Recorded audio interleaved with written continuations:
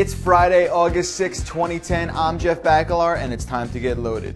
The next iPod Touch may ship with a built-in front-facing camera, just like the one that's currently on the iPhone 4. MacRumors got their hands on what appears to be a leaked photo of a new iPod Touch LCD screen that clearly outlines a spot for the camera. Apple has a knack for releasing new iPods in September, so odds are you won't need to wait long to FaceTime on the new Touch.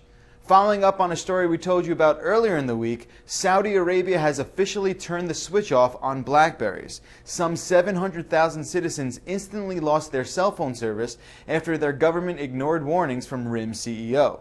Now, service can be restored if the smartphone manufacturer agrees to allow a data center to be built in the country to monitor users, which isn't really likely about to happen.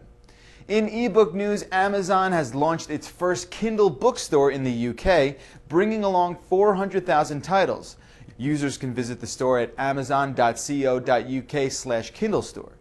Books are priced anywhere from 2 to 11 pounds, and there are actually some titles going for much cheaper than they do here in the US. The company is also taking pre-orders on the new Kindle e-reader, which is going to be priced at 149 pounds. Amazon keeps on giving with news today that the online retailer is selling over a thousand albums for just $5 each. The DRM-free MP3 tunes offer something for everyone, ranging in artists from Lady Gaga to Coldplay to Huey Lewis. Finally, The Dark Knight is returning to video game consoles with a sequel to the 2009 critically acclaimed hit Arkham Asylum.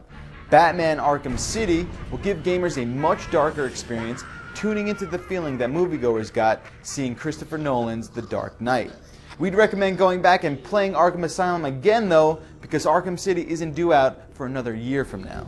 Those are your headlines for today. I'm Jeff Bakalar for CNET.com, and you've just been loaded.